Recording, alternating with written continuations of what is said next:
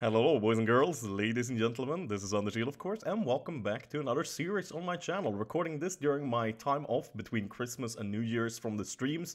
If you're wondering, where are the videos, Anders? I mostly stream nowadays, check out the video description for my Twitch channel. We're gonna be playing Prophesy of Pendor. I streamed this mod before, it is fantastic, it has light, uh, kind of Lord of the Rings and fantasy things with it, like elves and such, but it's still Mount and Blade Warband at its core, and it is fantastically well polished. Probably the most well polished mod there is, and probably the best, if not at least, top three best mods ever for Mount and Blade Warband. Highly recommend you checking it out. I just got it from the Steam Workshop. Click subscribe, installs automatically. Super easy.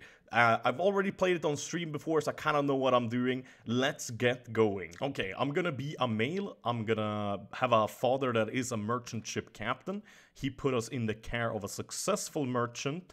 Uh, and we are right now a self self-employed merchant and we received a message that our father has died. Those are the choices I'm gonna make. It's mostly uh, to get gold. We're gonna go realistic without quitting, but we also get a lot of trade and a bit of looting, which are gonna be great for making that early game money. The best way to make money early game or any game here is winning tournaments. You can get like 20,000 if you bet on yourself a lot. I think that it's only like 15k profit, but that's still a lot of profit in just one single tournament. And a lot of them are fairly easy to win if you have a little bit of skill but they're locked behind 120 or 150 renown. Uh, so even if you go warrior, you're still gonna have to grind for quite some time before you can do those. So I rather go a non-warrior way in the beginning so I can have a lot of men, make money quick, and get enterprises up in the cities to get my economy going. So we want to focus now on making ourselves a better warrior with the points we have left. So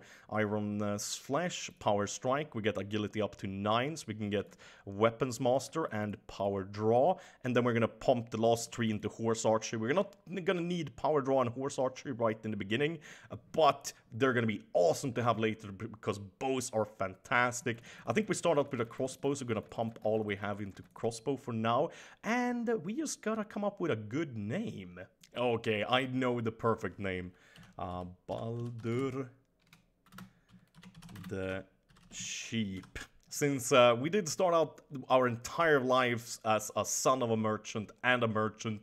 I mean, we're not a good merchant uh, if we're not known for being sheep, you know? We're not making good deals unless we're sheep. So, Baldur the Cheap, I think that's great. We might uh, might get known as Baldur the Great or the Brave later or the Slaughterer or who knows.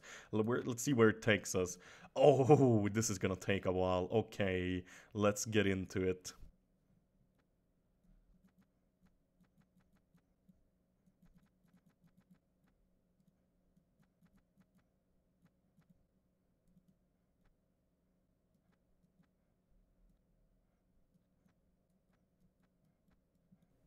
Okay, I think we're looking pretty good here actually.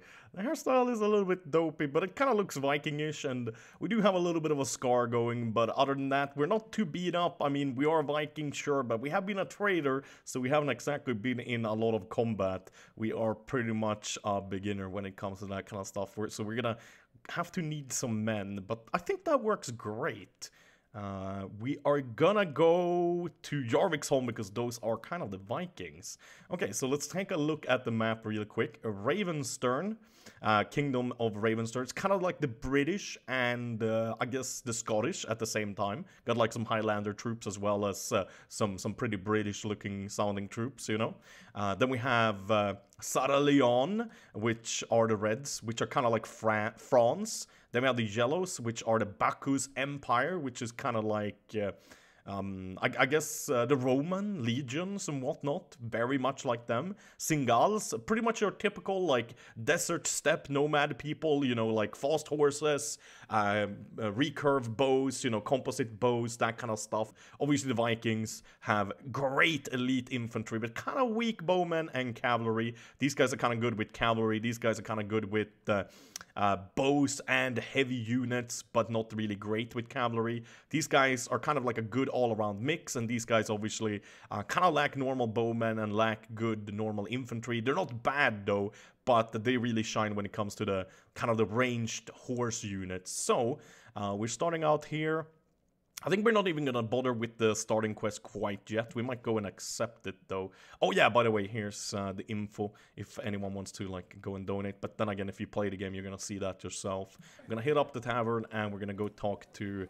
Uh, here we go, Merchant of Jorviksholm. It's gonna be this guy is always gonna be at the city where you start and uh, he's basically going to tell you that his son has been captive and we need to collect five men. So we are now going to start trying to make some money and as you can see we have a ton, 7,000 denarii uh, thanks to the starting choices we did. But we're a shit warrior and we're solo, uh, but we can have 50 men already, which is great. So we're gonna try to get some men really quick and start making some money. I messed up a bit. I, I ran right into, I think, five or six uh, six uh, forest bandits. They're pretty pushover, but the thing is, I don't have a shield, so trying to get into melee range and doing anything is difficult, so I think getting a shield is also gonna be a priority.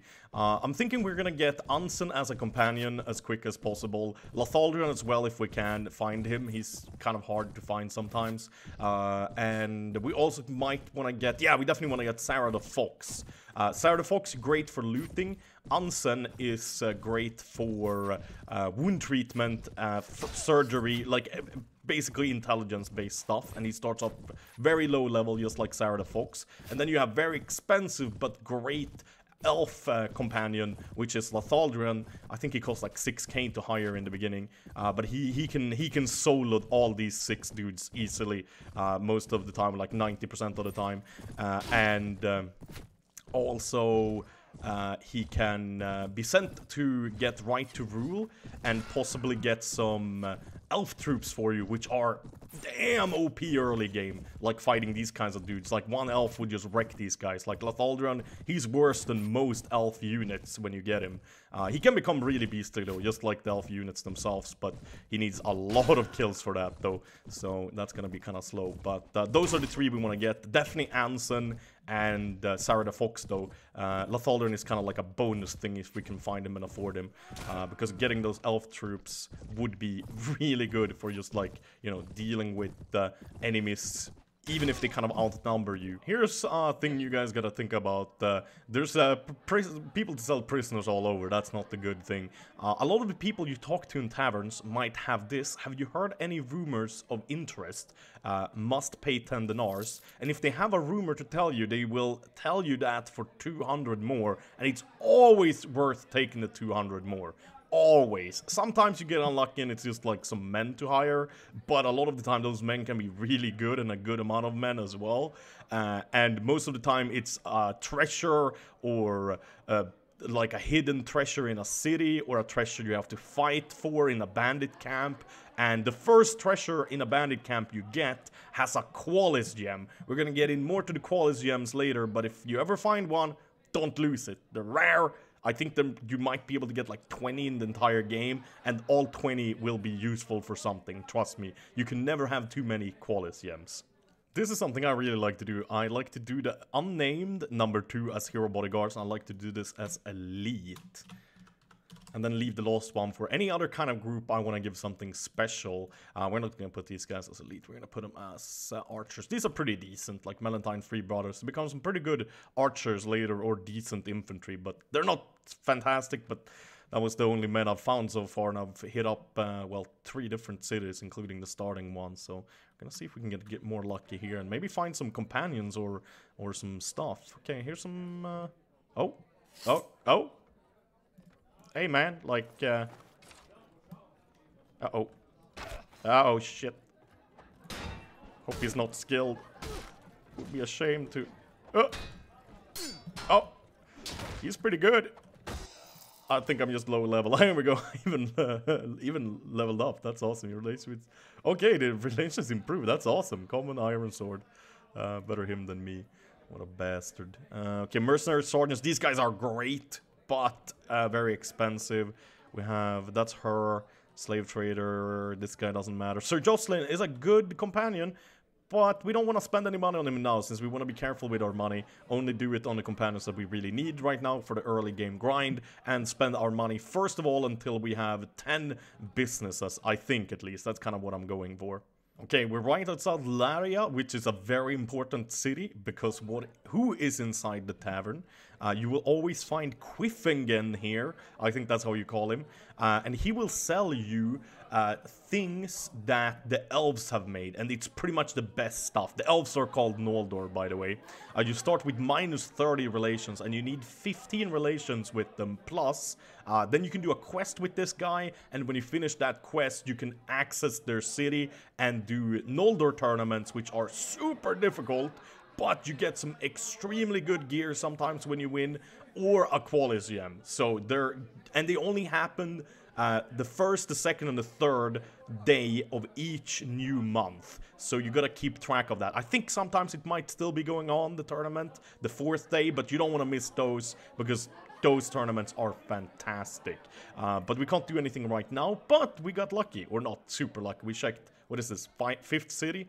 Uh, we found Anson, uh, so we're gonna hire him. Oh, he's free even. Wow. Okay, yeah, you always gotta get him. Uh, and Spearman. These guys are pretty good, but they don't have any shields and they don't have any swords. Just like pikes. So they're good versus uh, cavalry, but nothing else really. Oh yeah, by the way, you can talk to them and talk about managing uh, stuff. Tell them to upgrade the armor automatically and upgrade the weaponry. And I want them to be one-handed weapons, then shields, arrows, and bows. Uh, yes.